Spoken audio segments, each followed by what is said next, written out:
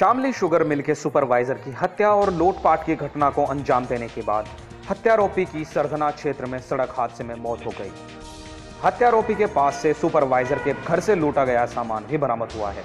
दरअसल हम आपको बता दें, मामला शामली शुगर मिल का है। कांधला थाना क्षेत्र के गाँव रसूलपुर, गुजरान के मूल निवासी 55 वर्षीय ओमपाल सिंह शामली शुगर मिल में सुपरवाइजर थे। ओमपाल अपनी पत्नी के साथ मिल परिसर के क्वार्टर में ही रहते थे। जबकि उनके दो बेटे कपिल और अनुज शहर से बाहर रहते हैं। रविवार को कपिल भी अपनी पत्नी के साथ शामली आया हुआ था, जिसके बाद ओमपाल की पत्नी, बेटा और पुत्रवधु रिश्तेदारी में गाँव का हाथी रोदा चले गए।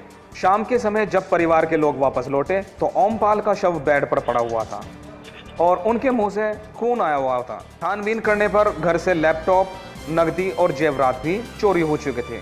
शव देखकर परिजनों में कोहराम मच गया? इसके बाद शामली सदर कोतवाली पुलिस भी मौके पर पहुँची और घटना स्थल का जायजा लेने के बाद शव को पोस्टमार्टम के लिए भेज दिया। ये शामली शुगर मिल में दिन के समय में एक ओकपाल सनो सादीराम इनका परिवार रहता है, ये मिल में ही कार्यरत है। और ओमपाल जी का एक साथी है, जॉनी। जॉनी इनके साथ में आना जाना था घर तक तो ओमपाल जी का परिवार जरा अपने यहाँ गया हुआ था, उसी बीच में जॉनी इनके पास आ गया। पूर्व में भी लोगों ने बताया कि इनके काफ़ी आना जाना था। और उसके बाद में वो इनके साथ में काफ़ी देर रहा और इनके घर का कुछ सामान लेकर वहाँ से चला गया।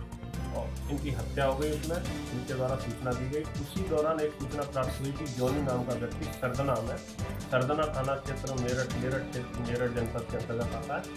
वहाँ इसकी एक्सीडेंट के दौरान मृत्यु हो गई। जो इनके यहाँ से सामान ले जाना बताया गया है, वो उसके पास से बरामद हुआ है। फर्दर अवयव पंजीकृत करके विधिक कार्रवाई की जा रही है।